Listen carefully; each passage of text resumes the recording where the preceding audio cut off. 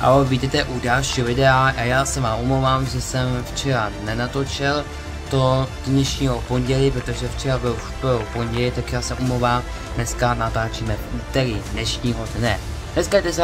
října a dneska se dostíme výsledky 9. kola Despot tak pojďme na to.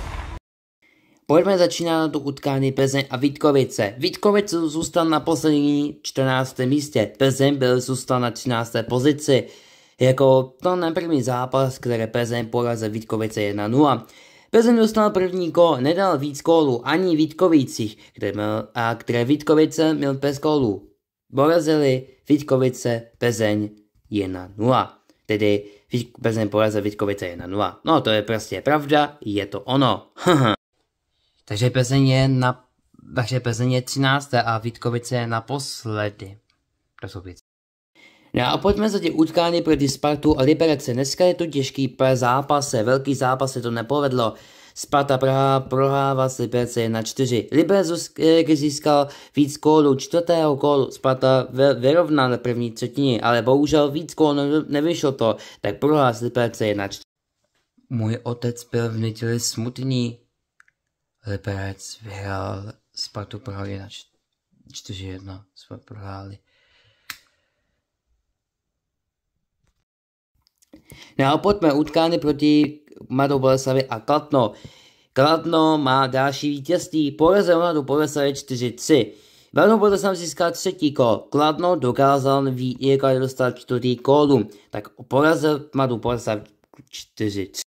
Jo, docela dobrý, Kladno tak dobře vyhrává každý rok. ne, dělám si srandu. Karno byl zatím 12. No, tak to vypadá to, že příští rok už bude postupovat do předkola playoff. No, uvidíme, jak to dopadne. Jestli dá víc kolů, tak uvidíme. Jestli tak nebude naposledy, se to postupuje do paráže. To si myslím, že proto mladá Podesa to nebude stačit.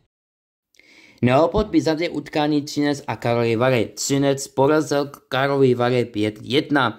Třinec dostal víc kólů, Karlovy Vary vyrovnává ale jako zatím tohle znamená to, že na první ceně dostal Marko Dano. Na druhé ceně nikdo negata není a víc víc kólů takové porazil Karový vady. Vědět. Jako třinec dal další kol a, a další výhru. Tyva, za to můžu. Za to můžu.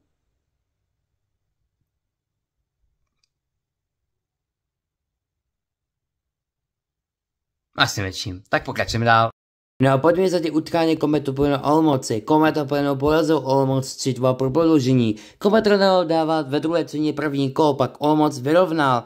Pak, uh, pak otáčel skore 2-1 a Kometovana dokázal vyrovnat a pak rozhodl zápas. Jenom se podíváme, že to byl neuznaný kol. Vyjde rozhodčí, kde byl rozhodnící zápas. Pak už to rozhodl zápas jen Šočka. A Kometoplno porazil Olmoc 3-2 a znamená to zůstává na místě.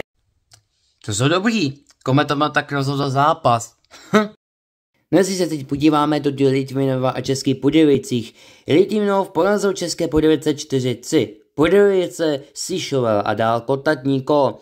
Zůstává do, zůstává do vedení Litvinov, tak porazil České Budějovice 4 a umístil se na základní, základní části na druhé pozici. Já si myslím, protože uh, Litvinov uh, měl rád Český Budějovici, ale tak uh, myslím se, protože je to lehký zápas. No my si zatím podíváme toto utkání proti našeho hokejistu Malfederalickové a Pardubice. Malfederalickové nedal víc kólu, protože Protože Pardubice je na to těžký zápas, a Pardubice dal víc kólu, protože na toto chtěli naše hokejistu vyhrát na to naše, na toto doma hrát, jak hrají zápas, tak Maverickové prohrává z Pardubice 2-4. To si dají srandu Pardubice, tak eh, vyhrál další zápas a naše, naše Maferacké tak prohráli. To si dají srandu. Hm. No dále budeme zásní zdá a jak chci vám poděkovat, že jste se na čete spolu půl roky, že naše utkání Maveracké a také samozřejmě Pardubice. Příště se budeme výsledky desátého kola, už toto sobotu, tak se mějte, ahoj! Soupas. A teď už naštvaný ten z to si dělají pryč.